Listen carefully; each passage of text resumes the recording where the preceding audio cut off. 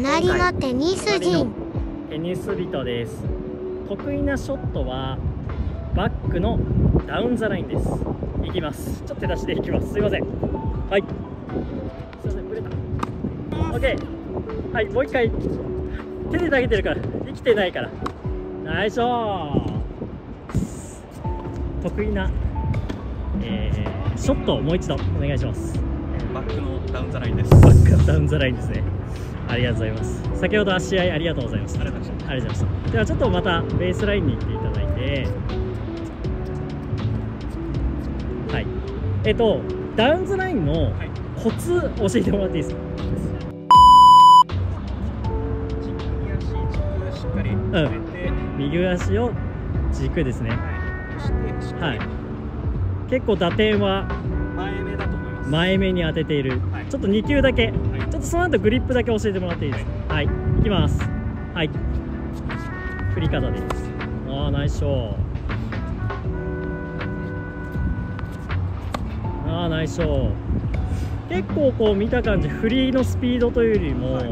まあカウンターに近いのかな。まあ踏み込むっていうところとスイングは何か意識してるんですえっと、基本的には肩を入れて、かはい。左手からはい。腰を使って打っていくような。ああなるほどなるほどなるほど。腰の回転で、はいはいはいはいはい。はいあああまり振り幅とかにはこだわってなくて。はい。まあ当てることに専念をして足で踏み込んで腰を回していくっていう形。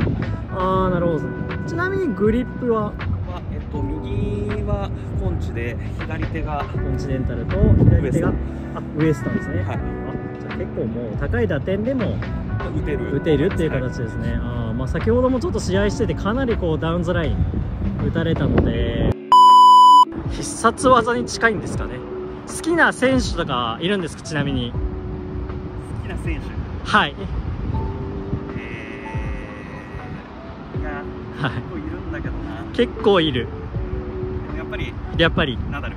ナダル。わあナダル。はい。年も。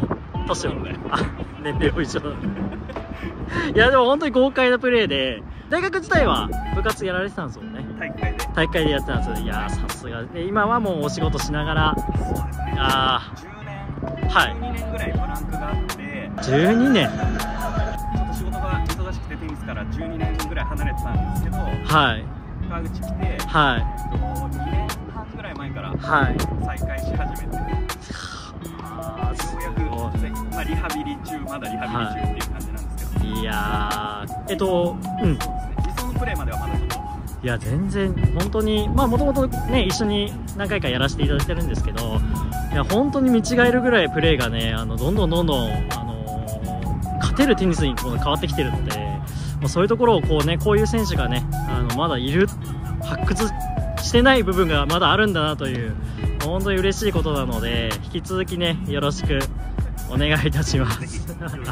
ありがとうございます。じゃあすいません。引くのを忘れてました。ラケットはウルトラのツアー 95JP、95結構めっちっちゃいですよ95使ってるんですね。すごいな。やっぱ社会人でこれだけちっちゃい。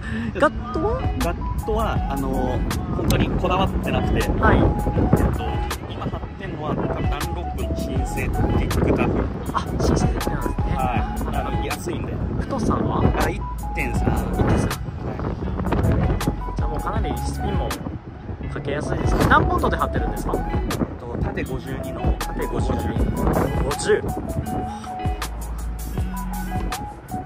大学時代から52、50で。出て、52 50年95のやつ使ってたんで、はい。